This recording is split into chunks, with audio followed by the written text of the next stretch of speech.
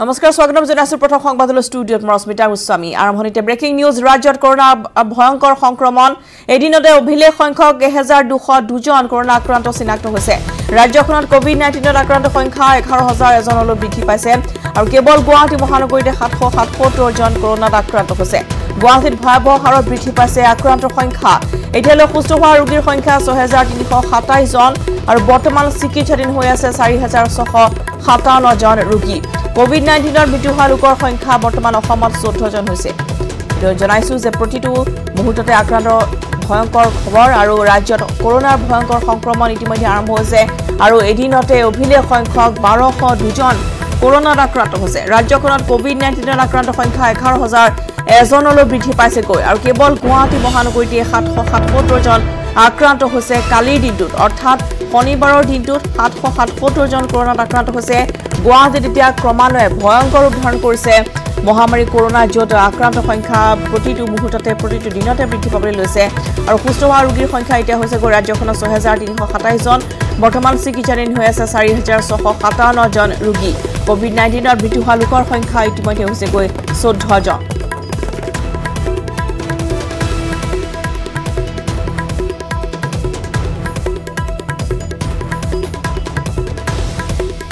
এদিনতে অভিলেখ সংখ্যক বাৰশ দুজন কৰোণাত আক্ৰান্ত হৈছে। ৰাজ্যত কভিড নাইণ্টিনত আক্ৰান্ত সংখ্যা হৈছেগৈ এঘাৰ হাজাৰ এজন। আৰু ইতিমধ্যে আমি জনাইছোঁ যে ৰাজ্যত কৰোণাৰ ভয়ংকৰ সংক্ৰমণ ইতিমধ্যে আৰম্ভ হৈছে।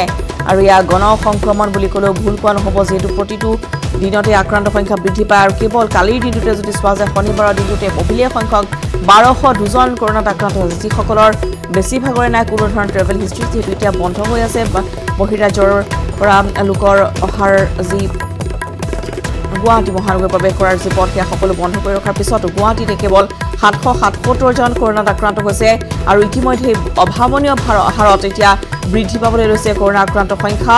সুস্থ হৈ উঠিছে এতিয়ালৈকে ছহেজাৰ তিনিশ সাতাইছজন ৰোগী কিন্তু বৰ্তমান চিকিৎসাধীন হৈ আছে চাৰি হাজাৰ ছশ সাতাৱন্নজন কভিড নাইণ্টিনৰ মৃত্যু হোৱা লোকৰ সংখ্যা চৈধ্যজন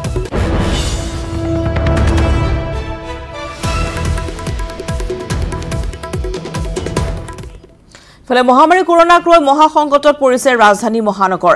শনিবাৰে গুৱাহাটীত একেদিনাই সাতশ সাতসত্তৰজন কৰোণা আক্ৰান্ত চিনাক্ত হৈছে। তিনি হাজাৰ দুশ চৌৱন্নজনলৈ বৃদ্ধি পাইছে মুঠ কৰোণা আক্ৰান্তৰ সংখ্যা। শুকুৰবাৰে গুৱাহাটীত কৰোণা আক্ৰান্তৰ সংখ্যা আছিল এশ চৌত্ৰিছজন বৃহস্পতিবাৰে গুৱাহাটীত আক্ৰান্ত হৈছিল তিনিশ দুশ আঠত্ৰিছজন লোক।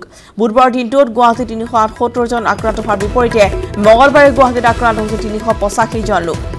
সোমবাৰৰ পৰা লকডাউন আৰম্ভ হোৱা স্বত্তেও গুৱাহাটীত কিন্তু কৰোণা ৰোগীৰ সংখ্যা বৃদ্ধি পাবলৈ লৈছে।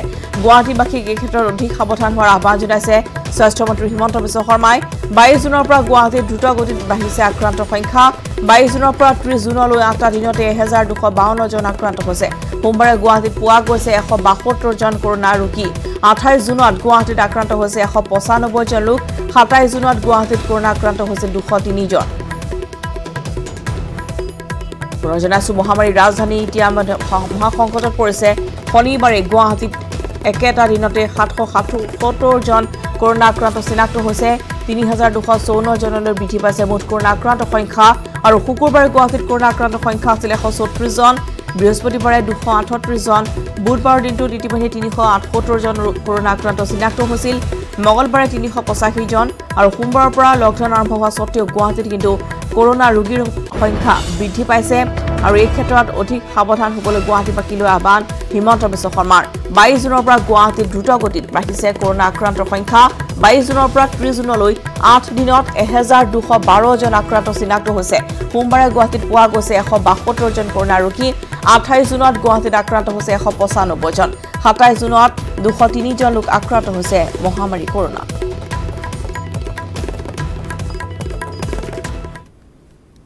আৰু ইফালে মহামাৰী চক্ৰবেহুত কৰোণা যোদ্ধা এই পৰ্যন্ত আক্ৰান্ত হৈছে এশ নজনৰ অধিক আৰক্ষী। নতুনকৈ সাতাশীগৰাকী আক্ৰান্তক চিনাক্ত কৰা হৈছে। কামৰূপ মহানগৰ অতিৰিক্ত জিলা উপায়ুক্ত চিন্ময় নাথ আৰু জনসম্পৰ্কৰক্ষী বিষয়া ৰতন সাউদৰ দেহতো কৰোণাৰ অৱস্থিতি পোৱা গৈছে। সহকাৰী উপ আৰক্ষী আয়ুক্ত পঞ্জিত দুৱাৰাও আক্ৰান্ত হৈছে কৰোণাত। জালুকবাৰী আৰক্ষী থানাৰ অচি উপেন কলিতাও আক্ৰান্ত হৈছে কৰোণাত। কোৱাৰেণ্টাইনত আছে বৰ্তমান তিনিশ আৰক্ষী। পুনৰ জনাওঁ মহামাৰীৰ ইতিমধ্যে চক্ৰবেহুত পৰিছে কৰোণা যোদ্ধা ফ্ৰণ্টলাইন ৱাৰিয়ৰ যিসকলে সন্মুখৰ পৰা ইতিমধ্যে যুঁজ দি আছে তেওঁলোকৰ বেছিভাগে এতিয়া আক্ৰান্ত হোৱা পৰিলক্ষিত হৈছে। গুৱাহাটী মহানগৰীত পৰ্যন্ত এশ নজনৰো অধিক আৰক্ষী আক্ৰান্ত হৈছে কভিড নাইণ্টিনত নতুনকৈ সাতাশীগৰাকী আক্ৰান্ত হৈছে। কামৰূপ মহানগৰ অতিৰিক্ত জিলা উপায়ুক্ত চিন্ময় নাথ আৰু জনসম্পৰ্কৰক্ষী বিষয়া ৰতন সাউদৰ দেহতো কৰোণাৰ উপস্থিতি ধৰা পৰিছে। সহকাৰী উপ আৰক্ষী আয়ুক্ত পঞ্জিত দুৱাৰাও আক্ৰান্ত হৈছে। কৰোণাত জালুকবাৰী আৰক্ষী থানাৰ অ চি উপেন কলিতাও আক্ৰান্ত হৈছে কৰোণাত। কোৱাৰেণ্টাইনত আছে বৰ্তমান অসম আৰক্ষীৰ তিনিশ লোক।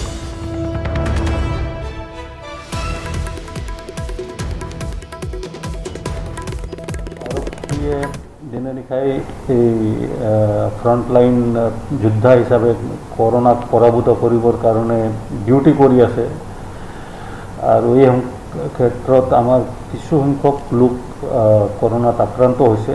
এতিয়ালৈকে যোৱাকালিলৈকে আমাৰ গুৱাহাটী চহৰৰ পুলিচৰ গুৱাহাটী পুলিচৰ ছিয়াশীজন লোক এইট্টি ছিক্স লোক কৰোণা পজিটিভ হৈছে। তাৰ ভিতৰত সোতৰজন লোক ছেভেণ্টিন লোক ইতিমধ্যে সুস্থ হৈ উঠিছে চিকিৎসাৰ চিকিৎসা কৰাৰ পিছত আৰু তেওঁলোকে হস্পিটেলৰ পৰা এতিয়া ৰিহা পাইছে। আৰু বাকী ছিক্সটি নাইন লোক এতিয়াও আমাৰ হস্পিটেলত আছে। তেওঁলোকৰ স্বাস্থ্য পাতি আহ, ঠিকে আছে চিন্তা কৰিবলগীয়া তেনেকুৱা একো বিষয় নাই। আৰু তেওঁলোকে ভাল চিকিৎসা পাই আছে হস্পিটেলত আৰু মই আশা ৰাখিছোঁ যে অনতি পলমে তেওঁলোকে সুস্থ হৈ ওলাই আহিব। আপোনালোকৰ কিমান মানুহ চিটি পুলিচৰ কোৱাৰেণ্টাইনত আছে বৰ্তমান বা আমি কণ্টেক্ট ট্ৰেচিং কৰি প্ৰায় এতিয়া তিনিশ লোক আমাৰ কোৱাৰেণ্টাইনত আছে। আৰু যিহেতু মহানগৰীৰ পৰিস্থিতি বৰ্তমান জটিল হৈ পৰিছে এই সন্দৰ্ভত অধিক তথ্য লাভ কৰিবলৈ আমি পোনপটীয়াকৈ সংযোগ স্থাপন কৰিছোঁ। আমাৰ সতীৰ্থ সাংবাদিক গুঞ্জন কলিতাৰ সৈতে। গুঞ্জন ইতিমধ্যে দেখিবলৈ পোৱা গৈছে যে অসম আৰক্ষীৰ লোকো ইতিমধ্যে আক্ৰান্ত হৈছে আৰু বৰ্তমান কালিৰ দিনটোত সৰ্বাতোকৈ বেছি বাৰশৰো অধিক লোক ইতিমধ্যে আক্ৰান্ত হৈছে। যথেষ্ট চিন্তনীয় বিষয় হৈ পৰিছে যে গুৱাহাটী মহানগৰীত আক্ৰান্ত সংখ্যা দিনক দিনে বৃদ্ধি পাবলৈ লৈছে। গুঞ্জন।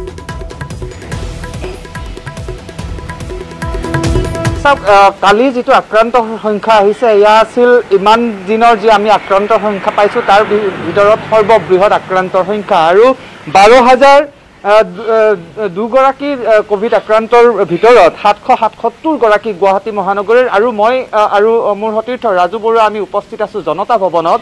আৰু জনতা ভৱনতো দুগৰাকী কৰ্মচাৰীৰ দেহত কৰোণা পজিটিভ কালি ধৰা পৰিছে। যি সাতশ সাতসত্তৰগৰাকীৰ ৰিজাল্ট পজিটিভ আহিছে। তাৰ ভিতৰত জনতা ভৱনৰ দুগৰাকী কৰ্মচাৰী আছে।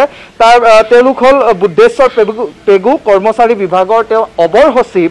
আৰু অৱনী মহন্ত মন্ত্ৰী ফণীভূষণ চৌধুৰীৰ তেওঁ ব্যক্তিগত সহায়ক। আৰু এই দুয়োগৰাকী এতিয়া ক'ভিড পজিটিভ পোৱাৰ পিছতে আন আন কৰ্মচাৰীসকলে তেওঁলোকে চিন্তিত হৈ পৰিছে। কাৰণ কৰোণা মহামাৰীৰ মাজতো তেওঁলোকে নিজৰ কৰ্তব্যত নিয়োজিত হৈ থকাৰ সময়তে কৰোণাত আক্ৰান্ত হৈছে। আৰু আমি যদি চাওঁ যে ৰাজভৱনত কালি দুগৰাকী আক্ৰান্ত হৈছিল আৰু তাৰপিছত কণ্টেইনমেণ্ট জ'ন কৰা হৈছিল। গতিকে ৰাজু বৰুৱা জনতা ভৱনত দুগৰাকী কৰোণা পজিটিভ ধৰা পৰিছে। এতিয়া প্ৰসংগ হৈছে যে ৰাজভৱন কণ্টেইনমেণ্ট জ'ন কৰা হ'ব নেকি? বা ৰাজভৱন নকৰি সেই উক্ত কাৰ্যালয় দুটা কৰা হ'ব নেকি? কাৰণ যদি জনতা ভৱন কণ্টেইনমেণ্ট জ'ন কৰা হয় বন্ধ কৰি দিয়া হয় সকলো কিন্তু অফিচ কাছাৰীৰ কাম কাজ কিন্তু স্তব্ধ হৈ যাব। চাওক গুঞ্জন গোটেই বিষয়টো যদি আমি চাওঁ তেনেহ'লে কণ্টেইনমেণ্ট জ'নৰ ক্ষেত্ৰত কিছু খেলি মেলি প্ৰথম অৱস্থাত বিভিন্ন এৰিয়াত এনেধৰণে কণ্টেইনমেণ্ট জ'ন কৰা হৈছিল। কিন্তু লাহে লাহে তেনেকৈ নকৰি যিটো কোঠা হয় তেনেধৰণে কোঠাটো বা ঘৰটো তেনেধৰণে কণ্টেইনমেণ্ট জ'ন কৰা হয়। এতিয়া আপুনি যিটো প্ৰশ্ন কৰিছে ৰাজভৱন ইতিমধ্যে কণ্টেইনমেণ্ট জ'ন হৈছে তাৰ বিপৰীতে জনতা ভৱন। কাৰণ জনতা ভৱন হৃদপিণ্ড কিন্তু। গোটেই অসমখনৰ হৃদপিণ্ড হৈছে জনতা ভৱন। ইয়াৰ পৰাই সকলো কাম কাজ চলে আৰু অসমখন চলিবলৈ হ'লে জনতা ভৱনৰ প্ৰয়োজন আছে জনতা ভৱনৰ কাম কাজৰ প্ৰয়োজন আছে। গতিকে ইয়াতেও আপুনি যিটো কথা ইতিমধ্যে উল্লেখ কৰিছে বা কুমাৰ চন্দ্ৰই কৃষ্ণই তেওঁ কৈছে যে গোটেই লকডাউন শিথিলতাৰ যিটো প্ৰসংগ আছে সেই শিথিলতাৰ প্ৰসংগত তেওঁ ৰিভিউ কৰিব আজিৰ দিনটোত। গতিকে ৰিভিউ কৰাৰ ক্ষেত্ৰতো তেওঁলোকৰ কাৰ্যালয় সকলোৰে মুখ্যমন্ত্ৰীৰ কাৰ্যালয় ইয়াত বিত্তমন্ত্ৰীৰ কাৰ্যালয় ইয়াত সকলো মন্ত্ৰীৰ কাৰ্যালয় ইয়াত গোটেই অসমখন চলে ইয়াৰ পৰা গতিকে এইখন এইটো যদি কণ্টেইনমেণ্ট জ'ন হৈ যায় তেনেহ'লে অসম চলিবলৈ অসম এক প্ৰকাৰ অচল হৈ পৰিব। গতিকে অচলাৱস্থা এটা আহি পৰিব। গতিকে সেই ক্ষেত্ৰত নিশ্চয়কৈ কণ্টেইনমেণ্ট জ'ন নিশ্চয় এই জনতা ভৱন নহয়। অৰ্থাৎ সেই দুটা কাৰ্যালয় হ'ব পাৰে। ঠিক একেদৰে আপুনি যিটো কথা উল্লেখ কৰিছে যে ৰাজভৱন ইতিমধ্যে কণ্টেইনমেণ্ট জ'ন হৈছে দুজনৰ গাত যিহেতু পজিটিভ পোৱা গৈছে। ৰঞ্জিত দাসৰ সহায়ক ব্যক্তিগত সহায়ক তেওঁৰ ইতিমধ্যে। পজিটিভ পোৱা গৈছে। পজিটিভ পোৱাৰ পিছত কিন্তু। ডি চি অফিচত পোৱা গৈছে আৰক্ষীৰ গাত পোৱা গৈছে গতিকে সকলোবোৰ কণ্টেইনমেণ্ট জ'ন কৰা নিশ্চয়কৈ সম্ভৱ গুঞ্জন নহ'ব চাওক ৰশ্মিতা ঊনত্ৰিছ তাৰিখৰ পৰা গুৱাহাটী লকডাউনত আছে আৰু কালি ৰাজ্যৰ মুখ্য সচিব কুমাৰ সঞ্জয় কৃষ্ণই কিছুমান নিৰ্দেশনা প্ৰদান কৰিছিল যিসমূহ আমি ইতিমধ্যে বাতৰি আকাৰে দৰ্শকসকলক জনাইছোঁ যে কিছু কিছু শিথিলতা লকডাউনৰ ক্ষেত্ৰত দিয়া হৈছিল যে ছয় আৰু আঠ জুলাইত খুলিব পাৰিব বিছ শতাংশ গেলামালৰ দোকান। এনেধৰণে পুৱা এঘাৰ বজাৰ পৰা চাৰি বজালৈ খুলিব পাৰিব গেলামালৰ দোকান। এনেধৰণৰ কেইবাটাও নিৰ্দেশনা দিয়া হৈছিল কিন্তু নিশাৰ ভাগত যেতিয়া উমান পোৱা গ'ল যে গুৱাহাটী মহানগৰীত সংখ্যা যথেষ্ট বৃদ্ধি হৈছে ক'ভিড আক্ৰান্তৰ তাৰপিছত কুমাৰ চন্দ্ৰকৃষ্ণই জনাইছে যে যি শিথিলতা দিয়া হৈছিল সেই শিথিলতাত কিছু সাল সলনি কৰিবলগীয়া আছে। কিছু তাত তেওঁলোকে কি কি খুলিব পাৰিব কি কি খুলিব নোৱাৰিব কি কি নীতি নিয়ম থাকিব এই লকডাউনৰ সময়ত তেওঁ পুনৰ এবাৰ ৰিভিউ মিটিং তেওঁলোকে কৰিব আৰু কিছু সময়ৰ পিছতে সেয়া ৰাজহুৱা কৰিব। যি ইতিমধ্যে দিয়া হৈছিল যে কিছু শিথিলতা গেলামাল দোকানৰ ক্ষেত্ৰত বা আন আন অফিচ কাছাৰীৰ ক্ষেত্ৰত বা আন আন কাৰ্যকলাপ চলাৰ ক্ষেত্ৰত সেইসমূহ কিন্তু এতিয়া ৰিভিউ পৰ্যায়ত আছে। কুমাৰ চন্দ্ৰকৃষ্ণই জনাইছে যে ৰিভিউ কৰাৰ পিছতহে এই সকলোখিনি নিৰ্ধাৰণ কৰিব পাৰিব। গতিকে ৰাজু বৰুৱা এটা কথা হৈছিল যে আজি ইমান দিনে লকডাউনৰ পৰা গেলামাল দোকান বন্ধ কোনো শাক পাচলি কোনো চব্জি কোনো সামগ্ৰী ক্ৰয়ৰ বাবে দোকান পোহাৰ নাই। তেনেস্থলত জনসাধাৰণৰ অসুবিধাও হৈছে। তাৰ প্ৰতি লক্ষ্য ৰাখি কুমাৰ চন্দ্ৰ কৃষ্ণই সিদ্ধান্ত গ্ৰহণ কৰিছিল। কিন্তু গুৱাহাটী মহানগৰীত কালি যিটো দেখা গ'ল অসমতে যিটো দেখা গ'ল যে দহ হাজাৰ আহ, চু চু হৈ আছিলে কৰোণা আক্ৰান্তৰ এহেজাৰ এঘাৰ হাজাৰ পাৰ হৈ গুচি গ'ল। গতিকে তেনেস্থলত কি কি সিদ্ধান্ত হ'ব পাৰে বা কি কি নিয়ম নীতি থাকিব পাৰে? নিশ্চয় এই এই ক্ষেত্ৰত আমি কৰোণাৰ সৈতে সহাৱস্থান কৰাৰ প্ৰয়োজন আছে গুঞ্জন আৰু কৰোণাৰ সৈতে সহাৱস্থান কৰি আমি থাকিব লাগিব। এইটো কিমান দূৰলৈকে আমি থাকিব লাগে ক'ভিডৰ সৈতে সেয়া ক'ব নোৱাৰি। আৰু এই মুহূৰ্তত যদি চোৱা যায় তেনেহ'লে বিশেষকৈ দৰিদ্ৰ যিসকল লোক আছে যাৰ ঘৰত বিশেষকৈ এনেধৰণে খাদ্য সামগ্ৰী তেওঁলোকে মজুত কৰিব নোৱাৰে তেওঁলোক যথেষ্ট অসুবিধাৰ সন্মুখীন হৈছে। দিন হাজিৰা কৰা লোকসকল কালিৰ দিনটোতো আমি এই কথাবোৰ আলোচনা কৰিছিলোঁ। আৰু আজি কিছু ভিডিঅ' আহি পৰিছে বা কিছু ক্লিপ অডিঅ' ক্লিপছ আহিছে। আহ, যিখিনিয়ে কিন্তু কিছু কথা এই ক্ষেত্ৰত এপছ যিটো মুকলি কৰিছে W W W dot COVID nineteen COVID Assam dot in যিটো এপছ আছে সেই এপছত গৈ পেলাই আপুনি চাব পাৰে আপোনাৰ পজিটিভ নে নিগেটিভ আপুনি চোৱাব দিয়াৰ পিছত। সেই চোৱাৰ পিছতো কিছু সংখ্যক লোকক এনেকুৱা মানুহকো উঠাই লৈ অহা হৈছে। তেওঁলোক নিগেটিভ আছিলে তেওঁলোকে আহি পেলাই এপছত মাৰি পেলাই চাইছে তেওঁলোকক নিগেটিভ পোৱা গৈছে। তাৰপিছত তেওঁলোকক কোৱা হৈছে যে আপোনালোকক যাবলৈ দিয়া হ'ব। তেনেকুৱা ধৰণৰ কিছু কথাও আহি পৰিছে। এই সময়ছোৱাত ইতিমধ্যে মন্ত্ৰী পীযুষ হাজৰিকাই আপুনিয়ে সেই সময়ত সুধিছিলে যে তেতিয়া সোধোতে তেওঁ কৈছিলে যে এনেকুৱা ধৰণৰ হিউমেন এৰৰ কিছুমান হৈ যাবও পাৰে বা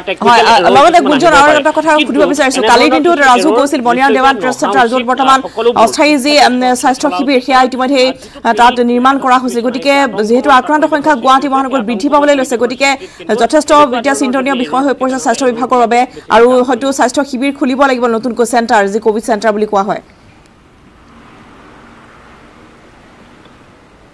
চাওক ৰশ্মিতা কভিড আক্ৰান্তৰ সংখ্যা যেতিয়া বৃদ্ধি পাবলৈ ধৰিছিলে তেতিয়াই এটা সমস্যা দেখা গৈছিলে যে স্বাস্থ্য খণ্ডত বিশেষকৈ চৰকাৰী খণ্ডৰ চিকিৎসালয়সমূহত স্বাস্থ্যসেৱা চলি আছিল। তাৰপিছত যেতিয়া আক্ৰান্তৰ সংখ্যা বৃদ্ধি হ'বলৈ ধৰিলে তেতিয়া খেলপথাৰক চিকিৎসালয়ৰ ৰূপ দিয়া হ'ল। আপুনি ইতিমধ্যে কৈছে যে মণিৰাম দেৱান ট্ৰেড চেণ্টাৰ ইতিমধ্যে সাজু কৰি থকা হৈছে। আৰু কালি আমি এটা বাতৰি কৰিছিলোঁ যে ব্যক্তিগত খণ্ডৰ চিকিৎসালয়সমূহো এতিয়া প্ৰস্তুত হৈছে। কোনো কোনোৱে ইতিমধ্যে দহখন বিচনা প্ৰস্তুত কৰিছে কোনোৱে এঘাৰ কোনোৱে ষোল্ল। এনেধৰণৰ গুৱাহাটী মহানগৰীত যিসমূহ ব্যক্তিগত খণ্ডৰ চিকিৎসালয় আছে তেওঁলোকে প্ৰস্তুতি চলাইছে যাতে তেওঁলোকে ক'ভিড চিকিৎসা যাতে প্ৰদান কৰিব পাৰে। কিন্তু এইখিনিতে ৰশ্মিতা আন এটা কথাও মন কৰিবলগীয়া কালি যদিও বা যথেষ্ট গৰিষ্ঠ সংখ্যক ক'ভিড আক্ৰান্ত পোৱা গৈছে কিন্তু একেধৰণে সুস্থ হৈ উঠা লোকৰ সংখ্যাও কিন্তু চাৰিশ ষোল্ল গৰাকী আছে। আক্ৰান্তৰ সংখ্যা যিমানে বৃদ্ধি পাইছে সুস্থও হৈ আহিছে কিন্তু আমি আশা কৰিছোঁ যে যিসকল আক্ৰান্ত হৈছে অতি শীঘ্ৰে যাতে সুস্থ হৈ উভতি আহে ঘৰলৈ। আৰু ইতিমধ্যে অসমত যিহেতু বৰ্তমান দ্ৰুতগতিত আক্ৰান্ত সংখ্যা বৃদ্ধি পাবলৈ ধৰিছে। আৰু ইতিমধ্যে আমি জনাওঁ যে গুৱাহাটী মহানগৰীৰ সৰ্ববৃহৎ কালিৰ দিনটোত বিগত সময়ছোৱাতকৈ কালিৰ দিনটোত বাৰশৰো অধিক লোক ইতিমধ্যে আক্ৰান্ত হোৱা ঘটনা ইতিমধ্যে গুৱাহাটী মহানগৰীত আতংকময় পৰিৱেশে বিৰাজ কৰা পৰিলক্ষিত হৈছে। যিটো যিহেতু ৰাজ্য চৰকাৰে দুটাকৈ দিন গেলামাল দোকান আৰু শাক পাচলিৰ দোকান খুলি দিয়াৰ কথা ইতিমধ্যে ব্যক্ত কৰিছিল কিন্তু সেই সন্দৰ্ভত পুনৰ ৰিভিউ কৰা হ'ব অৰ্থাৎ পুনৰ চালি জাৰি চাই। নতুন নিৰ্দেশনা মতে সেই নিৰ্দেশনা আজি আহ, কিছু সময় পিছতে হয়তো জাৰি কৰা হ'ব। নতুনকৈ ইতিমধ্যে মুখ্য সচিবগৰাকীয়ে জনাইছে যে এই সন্দৰ্ভত নতুনকৈ চোৱা হ'ব আৰু নীতি নিয়মসমূহ পুনৰবাৰ পৰীক্ষা কৰাৰ পিছতহে নিৰ্দেশনা জাৰি কৰা হ'ব।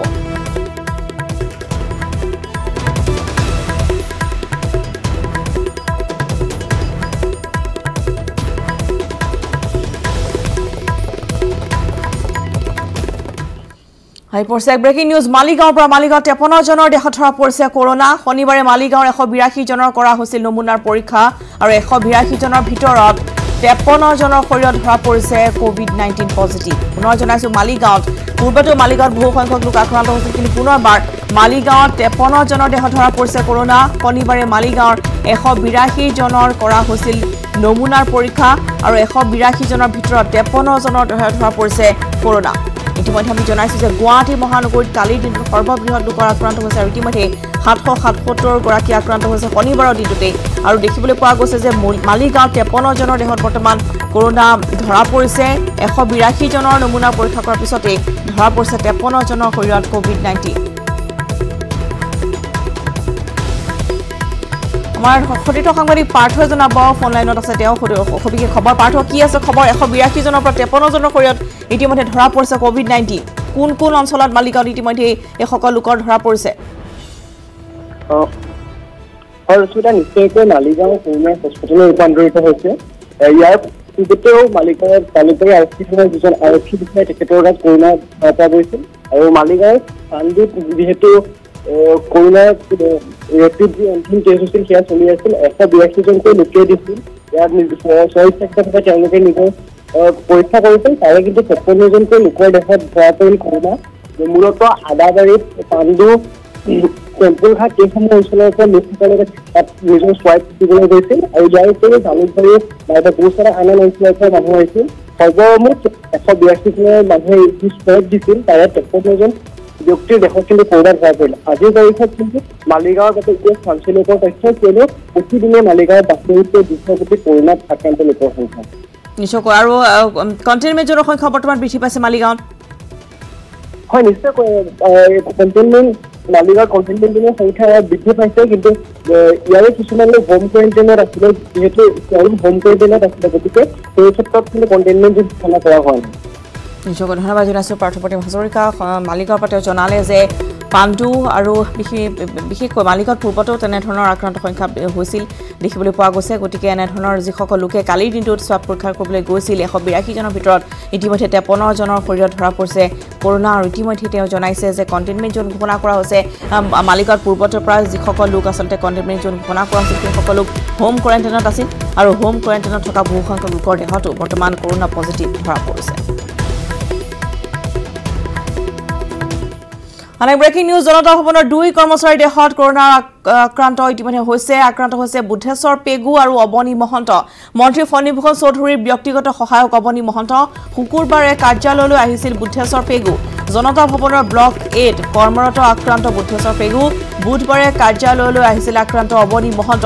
জনতা ভৱনৰ ব্লক বিত কৰ্মৰত আক্ৰান্ত অৱনী মহন্ত। ইতিমধ্যে আমি জনাইছো যে জনতা ভৱনৰ দুগৰাকীকৈ কৰ্মচাৰী কৰোণাত আক্ৰান্ত হৈছে।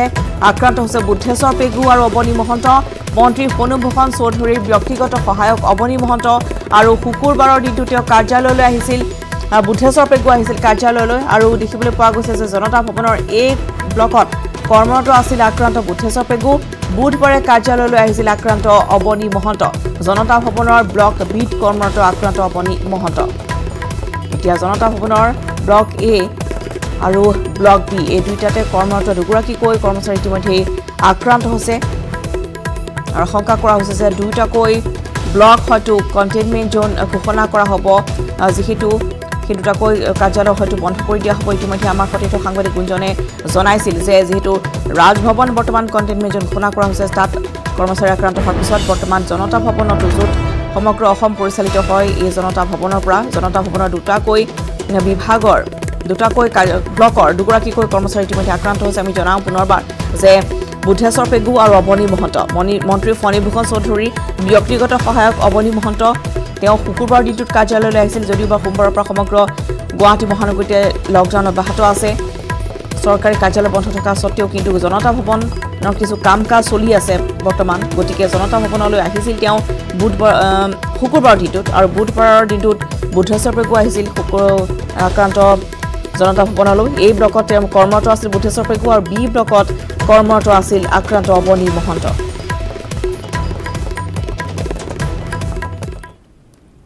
ইফালে জি এম চি এইচৰ পুনৰবাৰ পাঁচগৰাকীকৈ কৰ্মচাৰী আক্ৰান্ত হৈছে কৰোণাত। আক্ৰান্ত অধীক্ষকৰ কাৰ্যালয়ৰ দুই সহায়ক আক্ৰান্ত ৰমণী তালুকদাৰ আৰু আনোৱাৰ হুছেইন আক্ৰান্ত পৰিয়াল পৰিকল্পনাৰ পৰামৰ্শদাতা পলি বৰুৱা। কৰোণাত আক্ৰান্ত হৈছে গাড়ী চালক শিৱৰাম বড়ো। আনজন আক্ৰান্ত চতুৰ্থ বৰ্গৰ কৰ্মচাৰী গণেশ তেলেগু। পুনৰবাৰ জনাইছোঁ এক breaking news G M C এইচত পুনৰ পাঁচ কৰ্মচাৰী কৰোণাত আক্ৰান্ত হৈছে। আক্ৰান্ত হৈছে অধীক্ষকৰ কাৰ্যালয়ৰ দুই সহায়ক ৰমনী তালুকদাৰ আৰু আনোৱাৰ হুছেইন এই দুয়োগৰাকী ইতিমধ্যেই অধীক্ষকৰ সহায়ক হিচাপে কৰ্মৰত আছিল জি এম চি এইচত দুয়োগৰাকী আক্ৰান্ত হৈছে। পৰিকল্পনা পৰামৰ্শদাতা পলি বৰুৱা আক্ৰান্ত হৈছে লগতে আক্ৰান্ত হৈছে গাড়ী চালক শিৱৰাম বড়ো। আনজন আক্ৰান্ত হৈছে চতুৰ্থ বৰ্গৰ কৰ্মচাৰী গণেশ তেলেগু। এনেদৰে জি এম চি এইচতো বৰ্তমান পাঁচগৰাকীকৈ আক্ৰান্ত হোৱাৰ খবৰ আমি আপোনালোকক জনাইছোঁ। জি এম চি এইচত পুনৰ পাঁচগৰাকী কৰোণাত আক্ৰান্ত হৈছে। ইতিমধ্যে চিকিৎসক স্বাস্থ্যকৰ্মী আক্ৰান্ত হোৱাৰ পিছতে এতিয়া অধীক্ষকৰ কাৰ্যালয়ৰ দুই সহায়ক আক্ৰান্ত হৈছে কৰোণাত ইফালে হাজো আৰক্ষী থানাত কৰোণাৰ আতংক। হাজো থানাৰ চাৰিজন লোকৰ দেহত ধৰা পৰিছে কৰোণা। হেড কনিষ্টেবল পবিত্ৰ ডেকা ঊনষাঠি বছৰ তেওঁ বয়স হেড কনিষ্টেবল দুলাল হাজৰিকা বাৱন্ন বছৰীয়া কনিষ্টেবল অনিল মিলি বত্ৰিছ আৰু হোমগাৰ্ড আব্দুল লতিফ বিয়াল্লিছ বছৰীয়া তেওঁলোকৰ দেহত ধৰা পৰিছে কৰোণা পজিটিভ। জুন মাহৰ সাতাইছ তাৰিখে আৰক্ষী থানাৰ লোকসকলৰ পৰা চোৱা সংগ্ৰহ কৰা হৈছিল। তাৰ পিছতে আজি থানাখনৰ চাৰিজনকৈ লোকৰ দেহত কৰোণা পজিটিভ ধৰা পৰিছে। ইতিমধ্যে কভিড আক্ৰান্ত চাৰিওজনকে দক্ষিণ কামৰূপৰ মিৰ্জাৰ পতঞ্জলি কোৱাৰেণ্টাইন চেণ্টাৰলৈ লৈ যোৱা হৈছে।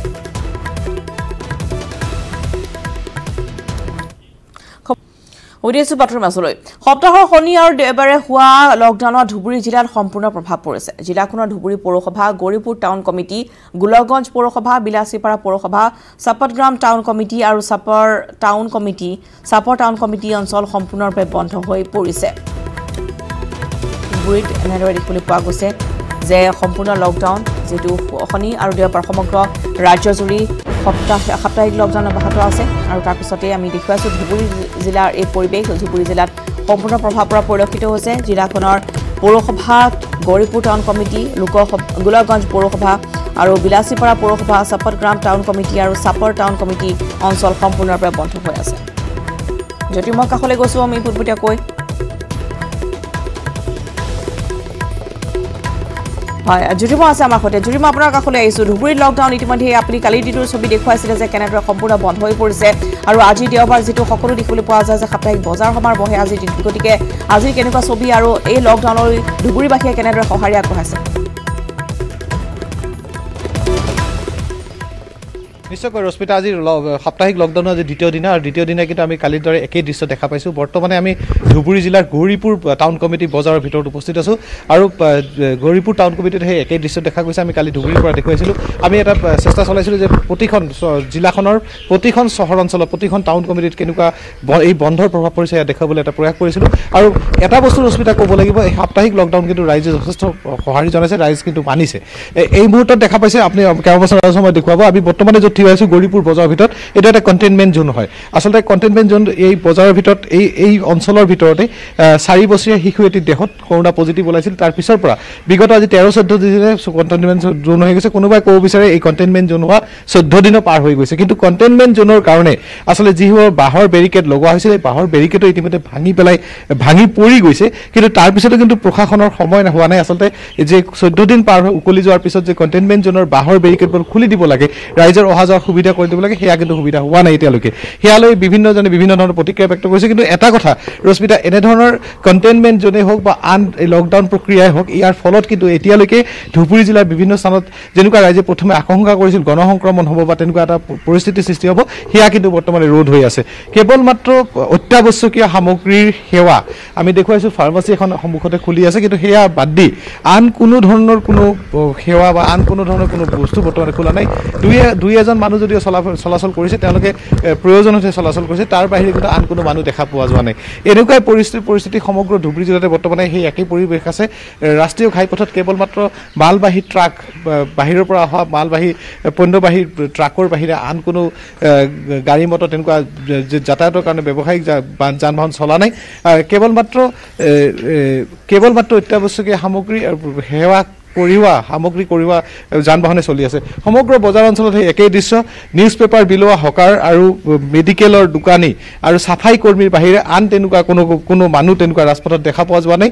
বৰ্তমানে কিন্তু সমগ্ৰ ধুবুৰী জিলাৰে একেই পৰিৱেশ বৰ্তমানে হৈ আছে আৰু সেই পৰিৱেশে কিন্তু এটা কথা কয় যে সাপ্তাহিক লকডাউন যদি চৰকাৰে ঘোষণা কৰিছিল সেই সাপ্তাহিক লকডাউন কিন্তু বৰ্তমানে সম্পূৰ্ণৰূপে পালিছে। ধুবুৰী তথা গৌৰীপুৰ গোলকগঞ্জ চাপৰ বিলাচীবা ইত্যাদি কৰি বিভিন্ন স্থানৰ ৰাইজে। হয় নিশ্চয়কৈ জ্যোতিৰ্ময় আৰু কালিৰ দিনটো দেখিবলৈ পোৱা গৈছে সমগ্ৰ অসমতে যথেষ্ট হাৰত বৰ্তমান সৰ্বাধিক বৃদ্ধি পাইছে আক্ৰান্ত সংখ্যা য'ত বাৰশৰ অধিক লোক ইতিমধ্যে আক্ৰান্ত হোৱা পৰিলক্ষিত হৈছে। গতিকে এনেদৰে যদি ছবি বা এনেদৰে যদি আক্ৰান্ত সংখ্যা বৃদ্ধি পাই থাকে সকলোৱে বিচাৰিছে পুনৰ লকডাউন দিয়ক। গতিকে ধুবুৰীবাসী সন্দৰ্ভত কিবা ক'বলগীয়া আছে নেকি বা তেওঁলোকে কি আহ্বান জনায়? নিশ্চয়কৈ ব্ৰস্মিতা কাৰণ কালি তেনেকুৱা এটা ডাঙৰ আচলতে স্পাইক এটা হৈছে বুলি ক'ব লাগিব। সাতশৰ ওপৰত লোক কেৱল মাত্ৰ মহানগৰীতে ওলাইছে। এনে ক্ষেত্ৰত ধুবুৰীবাসীৰ প্ৰতি- প্ৰতিক্ৰিয়া এটা যদি প্ৰয়োজন হয় আচলতে ধুবুৰীত তেনেকুৱা যদি গণসংক্ৰমণ বা তেনেকুৱা পৰিস্থিতিৰ উদ্ভৱ হয় তেতিয়াহ'লে কিন্তু ইয়াত লকডাউনৰ প্ৰয়োজন আছে। এইকাৰণে কি ধুবুৰী চহৰৰ লগত কেৱল মাত্ৰ ধুবুৰী নহয় ধুবুৰীৰ লগত দক্ষিণ চালমা মানকাচৰ জিলাৰ লগতে পশ্চিমবংগৰ লগত এটা সীমা সংযুক্ত হৈ আছে। তেনে ক্ষেত্ৰত এই অঞ্চলত যদি লকডাউন প্ৰক্ৰিয়া সঠিকভাৱে ৰূপায়ণ কৰা নহয় বা ইয়াত পালন কৰা নহয় তেতিয়া কিন্তু ইয়াত এটা গণসংক্ৰমণৰ সম্ভাৱনা আছে। তেনে ক্ষেত্ৰত সেই গণসংক্ৰমণ ৰোধ কৰিবলৈ যদি চৰকাৰে ইয়াত বিবেচনা কৰে যে ইয়াত সম্পূৰ্ণ লকডাউন বা তেনেকুৱা প্ৰয়োজন আছে ৰাইজৰ কিন্তু তেনেধৰণৰ কোনো প্ৰতিক্ৰিয়া দেখা যায় নাই। কিন্তু এই মুহূৰ্তত এটা কথা ভাল খবৰ ক'ব লাগিব যদিও চাৰে চাৰিশ গোচ পজিটিভ কেছ ধুবুৰীলৈ প্ৰায় চাৰে চাৰিশ কেছ হৈছিল ধুবুৰীৰ কাৰণে পজিটিভ কিন্তু তাৰে ভিতৰত চাৰিশৰ ওপৰত বৰ্তমানে কিন্তু সুস্থ হৈ ঘৰলৈ উভতি আহিছে। আৰু কেৱল মাত্ৰ চল্লিছ পঞ্চাছজনহে বৰ্তমানে চিকিৎসাধীন হৈ আছে। তেনে ক্ষেত্ৰত ধুবুৰীৰ কাৰণে এয়া ভাল খবৰ কাৰণ ধুবুৰীত যিখিনি পজিটিভ আছিল সেইখিনি কিন্তু ইতিমধ্যে সুস্থ হৈ ঘৰলৈ উভতি আহিছে। কোনো ধৰণৰ তেনেকুৱা গণসংক্ৰমণৰ বাতৰি কিন্তু এতিয়ালৈকে আহি পোৱা নাই। নিশ্চয়কৈ জ্যোতিৰ্ময় ধন্যবাদ জনাইছোঁ আপোনালৈ আৰু ধুবুৰীৰ পৰা এয়া জ্যোতিৰ্ময় দেখুৱালে যে সম্পূৰ্ণ লকডাউন স্তব্ধ হৈ পৰিছে ধুবুৰী জনজীৱন আৰু ইতিমধ্যে ধুবুৰীবাসীয়ে যথেষ্ট সঁহাৰি আগবঢ়াইছে।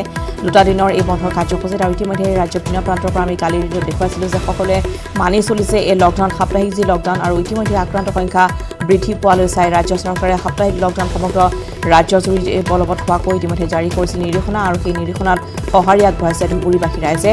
আৰু ইতিমধ্যে জ্যোতিৰ্ময় জনাইছে যে চাৰি চাৰিশ তাত আক্ৰান্ত পজিটিভ আছিল যদিও বৰ্তমান চাৰিশৰ অধিক লোক ইতিমধ্যে সুস্থ হৈ উঠিছে ঘৰলৈ উভতিছে মাত্ৰ পঞ্চাছ বা ষাঠিজনহে লোক বৰ্তমান কৰোণা পজিটিভ চিকিৎসাধীন হৈ আছে। শোণিতপুৰৰ খবৰ জনাওঁ। শোণিতপুৰত কৰোণা পজিটিভৰ সংখ্যা চাৰিশ ছজনলৈ বৃদ্ধি পাইছে। বহিৰাজ্যৰ পৰা আহি আনুষ্ঠানিক কোৱাৰেণ্টাইনত থকা ছগৰাকীৰ শৰীৰত কৰোণা পজিটিভ ধৰা পৰিছে। শনিবাৰৰ দিনটোত তেজপুৰ চিকিৎসা মহাবিদ্যালয়ত কৰোণা পজিটিভ আক্ৰান্ত সংখ্যা ষোল্লগৰাকী তেজপুৰ কভিড হস্পিটেলত বাইছগৰাকী আৰু সামৰিক চিকিৎসালয়ত অষ্টাশীগৰাকী চিকিৎসাধীন হৈ আছে। জিলাখনত সক্ৰিয় হৈ থকা তেৰটাকৈ সক্ৰিয় হৈ আছে তেৰটাকৈ কণ্টেইনমেণ্ট জ'ন পুনৰ জনাওঁ শোণিতপুৰত কৰোণা পজিটিভৰ সংখ্যা চাৰিশ ছজনলৈ বৃদ্ধি পাইছে। বহিৰাজ্যৰ পৰা আহি আনুষ্ঠানিক কোৱাৰেণ্টাইনত থকা ছগৰাকীৰ শৰীৰত কৰোণা পজিটিভ। শনিবাৰৰ দিনটোত তেজপুৰ চিকিৎসা মহাবিদ্যালয়ত কৰোণা পজিটিভ আক্ৰান্ত ষোল্লগৰাকী তেজপুৰ কভিড হস্পিটেলত বাইছগৰাকী আৰু সামৰিক চিকিৎসালয়ত অষ্টাশীগৰাকী চিকিৎসাধীন হৈ আছে। জিলাখনত সক্ৰিয় হৈ আছে তেৰটাকৈ কণ্টেইনমেণ্ট জ'ন।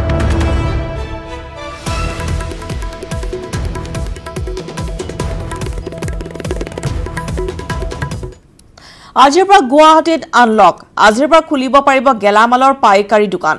পাঁচ আৰু সাত জুলাইত খুলিব পাৰিব গেলামালৰ পাইকাৰী দোকান। ছয় আৰু আঠ জুলাইত খুলিব পাৰিব গেলামালৰ খুচুৰা দোকান। পুৱা এঘাৰ বজাৰ পৰা আবেলি চাৰি বজালৈ খোলাৰ অনুমতি প্ৰদান কৰা হৈছে। পাঁচ জুলাইৰ পৰা বাৰ জুলাইলৈকে গুৱাহাটীত আনলক খুলিব পাৰিব কেতবোৰ অত্যাৱশ্যকীয় সামগ্ৰীৰ প্ৰতিষ্ঠানো। দুদিন ফল মূল শাক পাচলিৰ হোম ডেলিভাৰীৰ অনুমতি দিয়া হৈছে। ছয় আৰু আঠ জুলাইত ফল মূল শাক পাচলিৰ হোম ডেলিভাৰীৰ অনুমতি। পুৱা আঠ বজাৰ পৰা আবেলি দুই বজালৈ হোম ডেলিভাৰীৰ অনুমতি। ঔষধৰ পাইকাৰী দোকান খুলিব ছয় আৰু আঠ জুলাইত। পুৱা দহ বজাৰ পৰা আবেলি চাৰি বজালৈ খুলিব ঔষধৰ পাইকাৰী দোকান। দহ জুলাইত এদিনৰ বাবে খুলিব ই কমাৰ্চ ডাকঘৰ জীৱন বীমা নিগম দহ শতাংশ কৰ্মচাৰীৰে খোলাৰ অনুমতি। দুয়োটা শাখা কাৰ্যালয়ত দহ শতাংশ কৰ্মচাৰীৰ অনুমতি। পৰাপথত কোনো দোকান খোলাৰ নাই অনুমতি। ৰাজ্যৰ মুখ্য সচিব কুমাৰ সঞ্জয় কৃষ্ণৰ এই ঘোষণা। পুনৰবাৰ জনাওঁ যে আজিৰ পৰা গুৱাহাটীত আনলক আৰু কি কি নিৰ্দেশনা জাৰি কৰা হৈছে সেয়া আমি পুনৰবাৰ জনাইছোঁ আপোনালোকক। আজিৰ পৰা গেলামালৰ পাইকাৰী দোকান খুলিব পাৰিব। পাঁচ আৰু সাত জুলাইত খুলিব পাৰিব গেলামালৰ পাইকাৰী দোকান। ছয় আৰু আঠ জুলাইত খুলিব পাৰিব গেলামালৰ খুচুৰা দোকান। গেলামালৰ খুচুৰা দোকান খুলিব পাৰিব। দুটাকৈ দিনত ছয় আৰু আঠ জুলাইত পুৱা এঘাৰ বজাৰ পৰা আবেলি চাৰি বজালৈ খোলাৰ অনুমতি দিয়া হৈছে। পাঁচ জুলাইৰ পৰা বাৰ জুলাইলৈ গুৱাহাটীত থাকিব আনলক খুলিব পাৰিব কেতবোৰ অত্যাৱশ্যকীয় সামগ্ৰীৰ প্ৰতিষ্ঠান যিসমূহ অতিকৈ প্ৰয়োজনীয় সেইসমূহ সামগ্ৰীৰ প্ৰতিষ্ঠান খুলিব পাৰিব। গুৱাহাটীত দুদিন ফল মূল শাক পাচলিৰ হোম ডেলিভাৰীৰ অনুমতি দিয়া হৈছে। ছয় আৰু আঠ জুলাইত ফল মূল শাক পাচলিৰ হোম ডেলিভাৰীৰ অনুমতি দিছে ৰাজ্য চৰকাৰে। পুৱা আঠ বজাৰ পৰা বিয়লি দুই বজালৈ হোম ডেলিভাৰীৰ অনুমতি।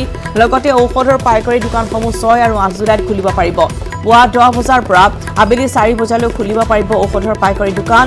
দহ জুলাইত এদিনৰ বাবে খুলিব পাৰিব ই কমাৰ্চ ডাকঘৰ জীৱন বীমা নিগম দহ শতাংশ কৰ্মচাৰীৰে খোলাৰ অনুমতি দিয়া হৈছে। দুয়োটা শাখা কাৰ্যালয়ত দহ শতাংশ কৰ্মচাৰীৰে অনুমতি। পদপথত কোনো ধৰণৰ দোকান খোলাৰ অনুমতি প্ৰদান কৰা হোৱা নাই। ৰাজ্যৰ মুখ্য সচিব কুমাৰ সঞ্জয় কৃষ্ণই এই ঘোষণা কৰিছে।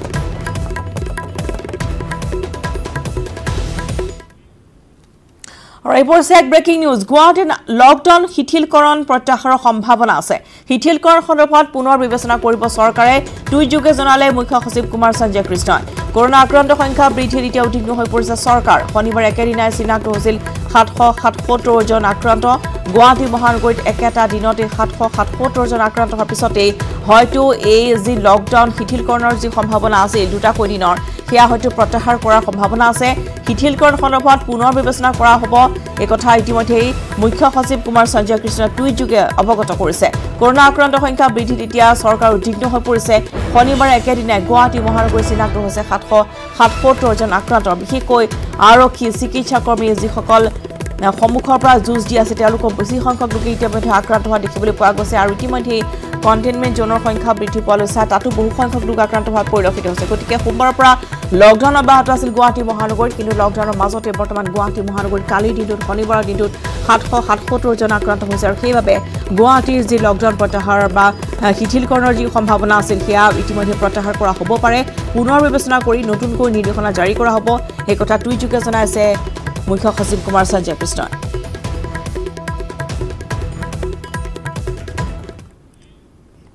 আন এক ব্ৰেকিং নিউজ দিল্লী বিশ্ববিদ্যালয়ৰ নামভৰ্তিৰ সময়সীমা বৃদ্ধি কৰি দিয়া হৈছে। ওঠৰ জুলাইলৈ বৃদ্ধি কৰা হৈছে অনলাইন পঞ্জীয়নৰ সময়সীমা। স্নাতক স্নাতকোত্তৰ এম ফিল আৰু পি এইচ ডিৰ সময়সীমা বৃদ্ধি কৰা হৈছে। পূৰ্বে চাৰি জুলাই আছিল পঞ্জীয়নৰ অন্তিমটো দিন পুনৰ জনাইছো দিল্লী বিশ্ববিদ্যালয়ৰ নামভৰ্তিৰ সময়সীমা বৃদ্ধি কৰি দিয়া হৈছে। ওঠৰ জুলাইলৈ বৃদ্ধি কৰি দিয়া হৈছে অনলাইন পঞ্জীয়নৰ সময়সীমা। স্নাতক স্নাতকোত্তৰ এম ফিল আৰু পি এইচ ডিৰ সময়সীমা বৃদ্ধি কৰি দিয়া হৈছে। পূৰ্বে চাৰি জুলাই আছিল পঞ্জীয়নৰ অন্তিমটো দিন কিন্তু জনসাধাৰণৰ সুবিধাৰ বাবে পুনৰবাৰ এই দিন ইতিমধ্যেই বঢ়াই দিয়া হৈছে অৰ্থাৎ সময়সীমা বৃদ্ধি কৰি দিয়া হৈছে। ওঠৰ জুলাইলৈ কৰিব পাৰিব অনলাইন পঞ্জীয়ন। যিসকলে এতিয়াও কৰা নাই তেওঁলোকৰ সুবিধাৰ বাবে এয়া আমি জনাইছোঁ যে দিল্লী বিশ্ববিদ্যালয়ৰ নামভৰ্তিৰ সময়সীমা ওঠৰ জুলাইলৈকে বৃদ্ধি কৰি দিয়া হৈছে। লগতে স্নাতক স্নাতকোত্তৰ M Phil M P H ডিৰ সময়সীমা বৃদ্ধি কৰা হৈছে।